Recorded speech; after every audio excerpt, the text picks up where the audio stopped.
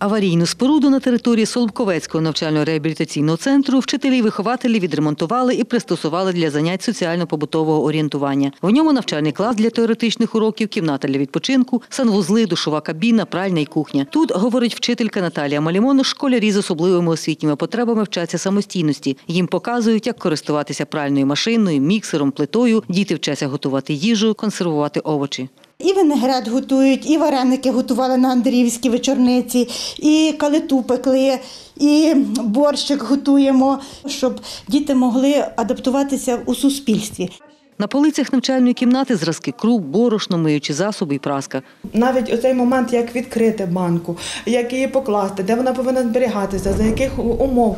Для нас це звично і дуже просто, а для них це потреб- потребує ну, додаткових зусиль, додаткових таких інструктажів. Дітей з особливими освітніми потребами в першу чергу треба навчити самостійності, додає заступниця директора Оксана Посвістак. Ці дітки повинні вміти готувати їсти, е, доглядати за одягом, житлом, користуватися транспортом, різними закладами е, громадського харчування і могли дати собі раду. У програму занять із соціально-побутового орієнтування учнів, які цілодобово перебувають у центрі, входять і інші елементарні для нас навики, каже заступниця директора. Кожен похід в магазин, до пошт, до поштового відділення, до банкомату він має супроводжуватися нами, дорослими, і має це цілий алгоритм, який нам треба розробити по кілька кроків, і, і ми це все робимо. Директорка центру Алла Гаман розповідає, думка створити такий міні-центр для практичних занять у педагогів визріла давно, та грошей на обладнання не було. З її слів, два роки тому вони подали заявку на конкурс неурядової благодійної організації і виграли грант.